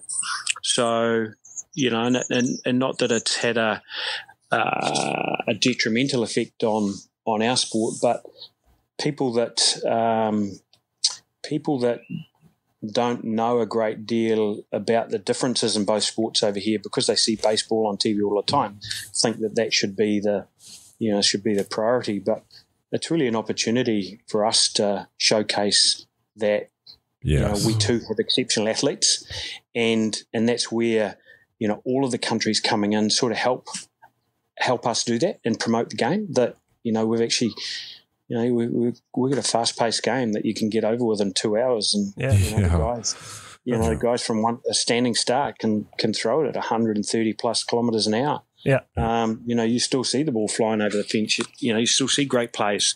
Yeah. So, yeah, I, I, anytime we get an opportunity to um, showcase our sport, which you know I'm obviously pretty passionate about here at home, um, I think is is uh, a great opportunity and special. Absolutely. And I think this one, you know, this one being the first one since Prague, I mean, it's coming becoming like a more of an even playing field, don't you find? I mean, you don't have it's just it's not you guys, Canada and the Aussies anymore. Yeah, There's Argentina, there's No. Japan, like there's Venezuela, like there's uh, it's getting to be a level playing and the field. Czech guys are coming as well. yes, that's right too. Yeah, yeah. No, I think, uh, well, personally, I, I, I think that Prague was probably the the most competitive um, ISF that I've seen for a long time. Mm. You know, and, and you're right. There was always, you know, the, the the top teams were always great. Yeah. You know, and always have been and always will be. But, geez, the um, you know the level of competition has increased um, immensely over you know, I think over the last, and, and maybe it has something to do with the two yearly cycle, but the two yearly cycle was just so hard financially um, true. on countries to be able to send teams, you know, every second year. So every year you're having two teams go to a World Cup. So maybe that contributed to it, but then the WBSC and their wisdom um, cut it from 16 to to 12 teams, um, which uh, yeah, I, I don't agree with. I'm, I'm disappointed in it because Mhm. there's going to be some good teams that miss out. Right. You know, there'll certainly be one or good, one or two good teams from the Americas that miss out. Um, the, there'll be a good team from Europe that misses out, um, and well, Asia. But you'll you'll certainly see Japan, Japan, come yeah. through there. Yeah, I mean, sure. that, that's a given. Yeah. Uh, but it, yeah, it, it um, twelve teams. I, I, I, geez, I loved it. I, I think I remember back in the day when there was twenty Yeah. you know, 10 in each division, and you're playing more than one game a day. Yeah. You know, and th- those, geez, those days uh, you you get through and you're playing 15, 16 games in a World Cup. Um, at the end of it, it, it became a real endurance test. That's right too. Yeah, Yeah. it definitely would be. I I had to laugh when you said uh, with Chopper and Damien there that you wish you could have maybe had the Argentinians there last year because they'd be still celebrating from 2019. Yeah. yeah. every time every time I, I got a communication, it's like there's another bloody party going on in Argentina. um, but oh, Julio, you know, I, I, I wrote to Julio um, after Prague because I never got to see him Right. um, and congratulated him because he we played together in uh, in marathon with county county materials and county concrete and stuff. So Yeah. you know we'd uh, and with Lucas Mata and, and obviously the uh, Lucas's younger brother Humio uh, Mumu. Mm. Um, the, you know, was the dominant pitcher for them there. So, you know, I wrote to him and congratulated him because I, you know, if uh, uh, if we couldn't win it ourselves, it, you know, it's great to see someone that you've got a connection with and know hmm personally uh, getting some success because I know how hard he'd battled over the previous years, you know, trying to get um, that talented group of guys to come together. And, you know, the things we talked about before around chemistry. Mhm. Um, you know, I know how hard he'd battled with that. So, you know, to see them succeed in that final with, with them in Japan, um, that, uh, that that was quite a special game. Absolutely. And, and huge for their country and program as well. Yeah. Yeah. Absolutely. Yeah. Yeah. Yeah. Well, Mark, we got a little something that we like to end the podcast with, uh, called Player Association. I'm going to throw out uh, a couple names to you. And uh, if you have a story about them, feel free to feel free to throw it out there. So, uh, first one here, we're going. I'm going to throw it is uh, Jimmy Cotter. Oh wow! Um, possibly the best player that I've ever seen. Um, you know, he was like Jim was like an older brother to me. Um, and when I first he played for my Cardinals team, uh, he came over to to our club from um, uh, the Wairarapa just over the hill, and and came over as a catcher. So I, I made that initial connection because I was this was before I was fourteen and playing alongside him. Yeah. Um, but then he moved to centre field, you know, he, he, he I think he became the best centre field in the game, hit, run, throw, hit for power, um, pretty much did it all. And, and I think the first real five tool player that, that I can remember seeing. So, you know, he was one of the first position players to go and play in North America. And, and I think, he, you know, we talked about that before. He was one of the guys that opened the, opened the door for guys like myself to get the opportunities. So, you know, I, um, very, very special uh, talented player, and you know he was a junior All Black rugby player as well. Wow. So uh, he, uh, he he was another one that we uh, we lost too young. Um, also, unfortunately, killed in a car accident. Well, that's yeah, definitely unfortunate for sure. Uh, next on the list is uh, Michael White. Um, probably the, the the best performance pitching performance I've ever seen. You know that uh, Whitey threw the he. You know, I've seen and caught to a lot of pitches that that on, on days when things are going well, they will get you know they'll succeed and be dominant, and if it's against a team they believe they can beat, but Whitey would take the ball against anyone. Mhm. And he would still fight on days when he didn't have his good stuff, you know. And, and I'm sure you guys remember he he, um, he blew his arm out in the '87 ISC, I think it was That's that I too. talked about before, Yep, yep. playing for Teleconnect. You know, so they basically had to rebuild his arm. You know, uh, in terms of his bicep disconnected. So he had to reinvent himself as a pitcher, and you know he's he was always tenacious. But from there, and he went from being a power pitcher to to a real craftsman, and you know that performance that he put on in the uh, in the final of the '96 World Series, um, where he threw a perfect game, you know, was quite outstanding. Yeah, you don't get You know, that. You don't get those too often, especially in the in the finals. No, just a game of that significance, you know. And he was always going to pitch that game for us. Yeah. uh, But I, I, I do remember going to Mike uh, Mike Walsh, um, who, funnily enough, stopped into my work yesterday. Had, had a coffee. Um, he's he's uh, he's a softball.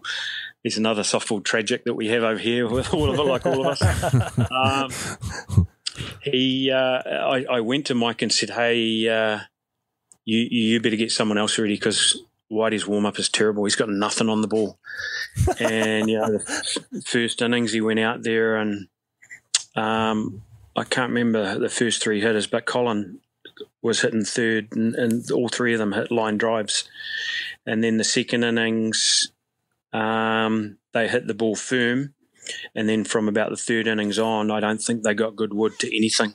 wow. Uh, and he just he just grew and grew, you know. So started the game with a after a terrible warm up, not a lot happening, but he's a real fighter, you know, and he always had that.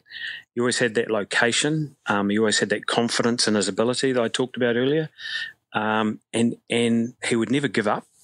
You know, even even when you were behind, Mhm. um, he still found a way. So, you know, certainly um, one of the best, if not the best, pitcher that I ever caught to. Right on. Two more here. Uh, Canadian former teammate, uh, friend of the show, Colin Abbott. I kind of knew that he'd become an Abbey. Yeah. I heard he likes Oh, KFC. He does. Yeah, I I was just going to tell. You've heard that story before, yeah? On the way to the gym. Yeah, on the way to the gym. KFC. Yeah. What do, you, what do you mean go to KFC?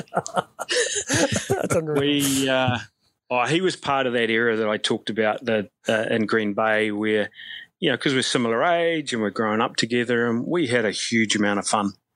Um, you know, we worked together at the All Car store, and uh, it, it was it was a fun time. You know, and um, he he was a great great player. You know, great great hitter. Uh, possibly, and he will love this. Possibly the worst outfielder I've ever seen. Um, but I tell you what, he could hit a uh, rise ball though. Oh man, he could hit it all right. Um, and great sense of humour. So no, we, we uh, yeah, I, I, a lot of time for Abby, and um, you know, really love my time playing with him. Um, and we, but and funnily enough, you know, a real classy guy, and that, that performance I talked about with Whitey. Hmm. Um, uh, Abby was the he was the last out in the seventh inning, so with two outs um, you know, he comes up to the plate and and I think it, uh, I can't remember the count, but uh, we had two strikes and the umpire put his hand between, you know, put his hand on my on my back and just sort of uh, put his head down and said, "Hey, Mark, just want to say congratulations. You guys have been fantastic all week and and thoroughly deserve this title." And I'm remembering we only had two strikes, so um, I was thinking, okay, uh, this pitch isn't going to be very close, but it's going to be called a strike. So I, yeah, I called a low rise outside, and I swear to God, I was six or eight inches off the plate, and and the umpire rung it up Oh and shit! struck him out. You know, perfect game. And then and I talked to Colin later, and I'm like, oh, dude, sorry that that that pitch was way off the plate. And he goes, man, it didn't matter. We weren't going to hit hit uh, Yeah, Whitey with a tennis racket today yeah, you know. Wow. So it just s- speaks volumes of the man. You know, really classy. yeah, Yeah. Um, sure. But it, it, it funny in uh, in not, uh, 2004, he he was the last out as well. Oh, Um, oh, that's right. He was uh, too. yeah, he uh, hit the ground ball to Dion at Dion, second. yeah. And, yeah. And I remember uh, with two strikes, he'd hit a foul ball down the right field line. Two strikes, I got up and kind of cleaned the plate because we used, we used to talk smack to each other, even when we were playing together. and I and I remember getting up and cleaning the plate, and and then uh, turning to come back, and I looked at him. I, I said, uh, "Hey, Hoop, you were the last out in '96 as well, remember?" and uh, got a short, sharp response. yeah, Love that. Oh, yeah. So uh, no, no, great, great, great man. Yeah, Love stories like that. Uh, last, certainly not least, uh, you know him pretty well, Paddy Shannon. Paddy Shannon. Um, well, I've I've got him on my coaching team now. Yeah, You know, How's that going?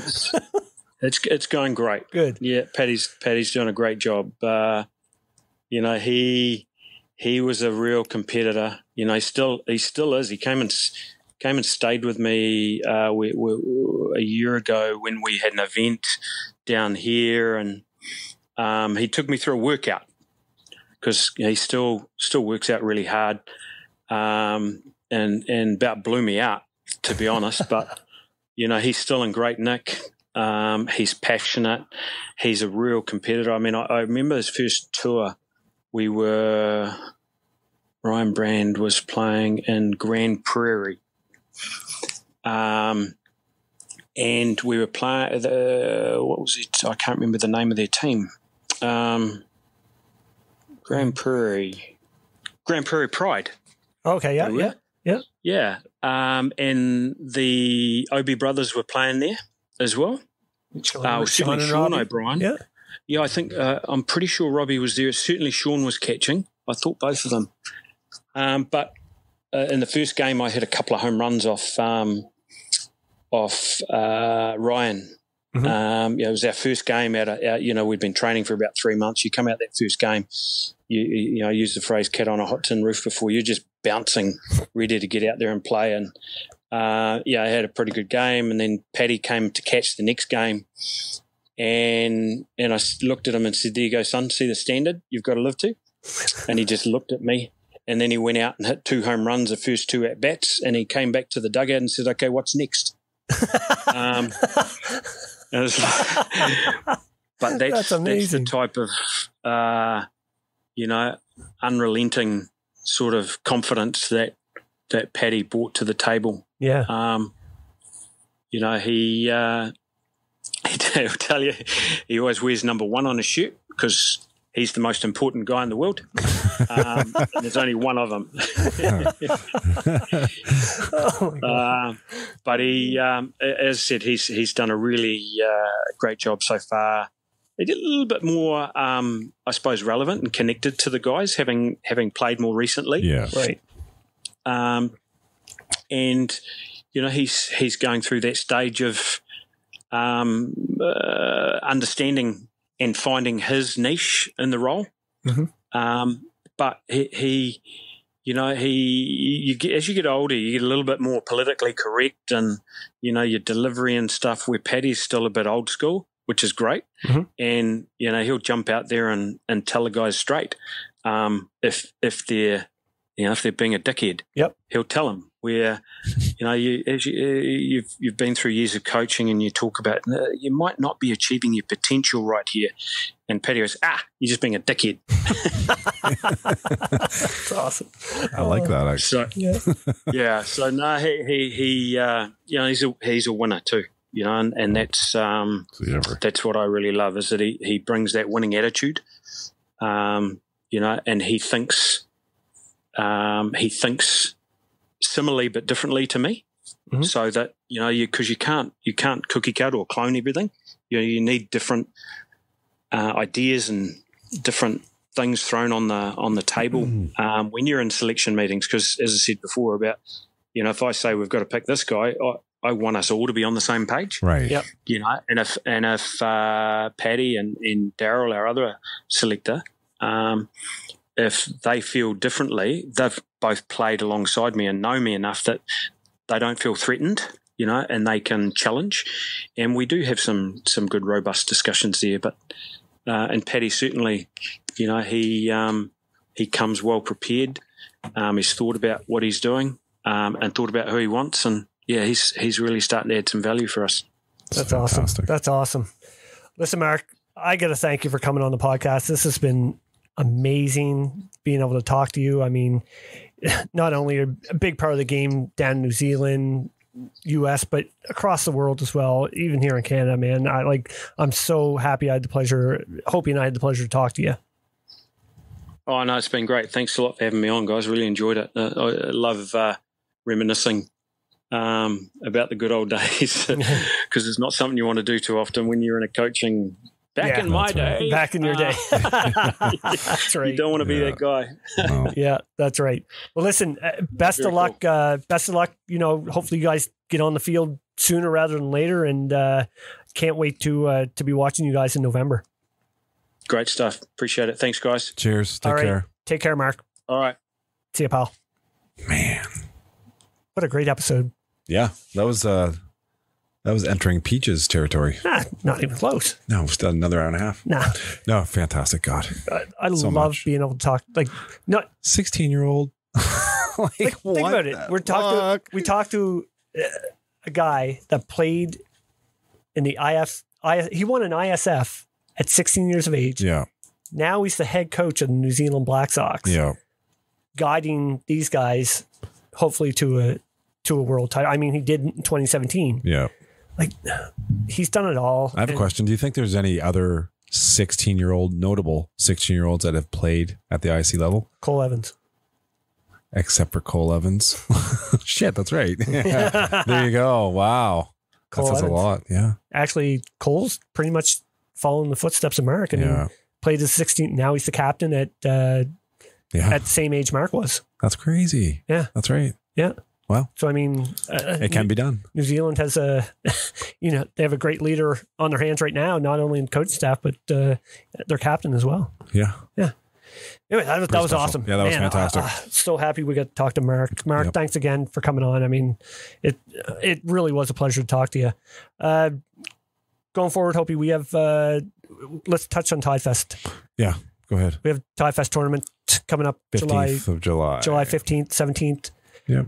We have a few teams entered right now. I mean, eh, hey, listen, if you want to come down, it's going to be a great time. Uh, prize money, we're twenty five hundred dollars. I mean, that's nothing to to sneeze at. And Not to mention you get Tide Fest, uh, get Tide Fest. passes and activities and yeah. it's a time. Like it, it really is. I Randy, mean- you seem very angry now. And Well, stop no, yelling. I like- oh, I wanted to talk about something too during the podcast. When Oh. you, you, what was you, what was your takeaway? Take? Did you take it away? I know. Can you tell me? Did you take it away? take it away. Take it away.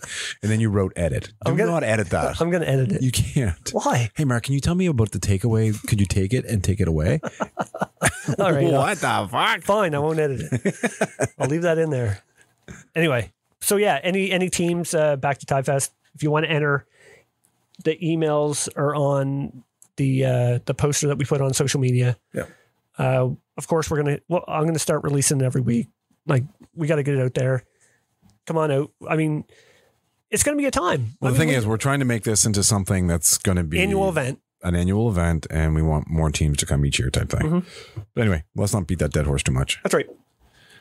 Anyway, Randy, It was fun to get back to Yeah. to this finally after a two week layoff. And Yeah. uh, anyway, and we had a fantastic guest, yeah. and uh, we have a special couple guests coming up not too far away. I can't. We're not going to mention. We're not going to mention it right now. Our, let's just say our hundredth episode is going to be awesome. That's all. We'll leave it at that. Anyway, until next week. Cheers. Classified.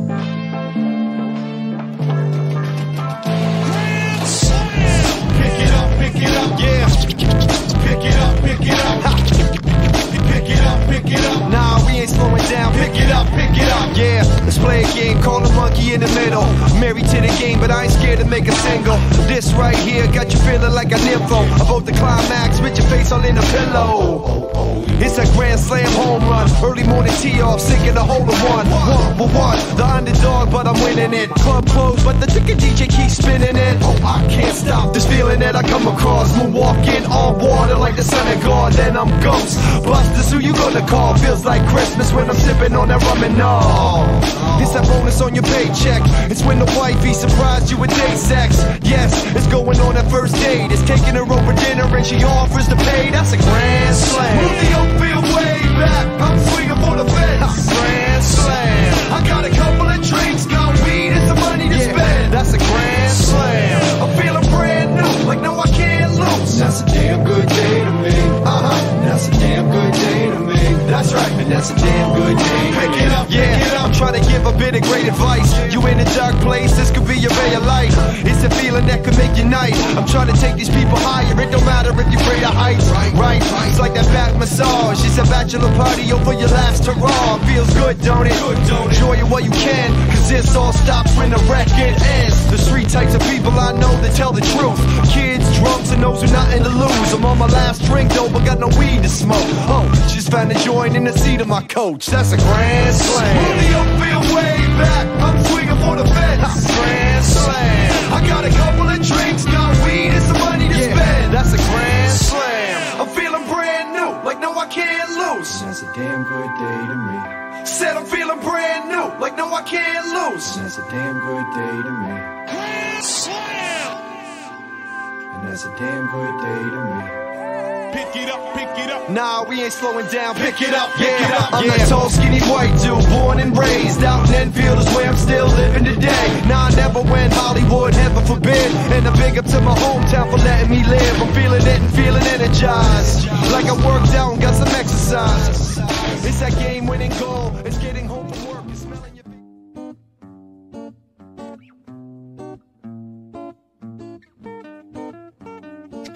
Are you downsizing? Maybe need more room because of additions to the family, or possibly seeking that dream home you've always wanted? Well, Tim Eisner at Royal LePage Atlantic is the guy for you. With a proven track record and multiple awards, Tim goes above and beyond to find out your needs and exactly what you're looking for. So if you're seeking a new home or trying to sell your current one, contact Tim at 902 499 5717 or check him out on Facebook at Tim Eisner. Again, that's 902 499 5717. Trust me, when all is said and done, we'll be saying Tim Eisner strikes again.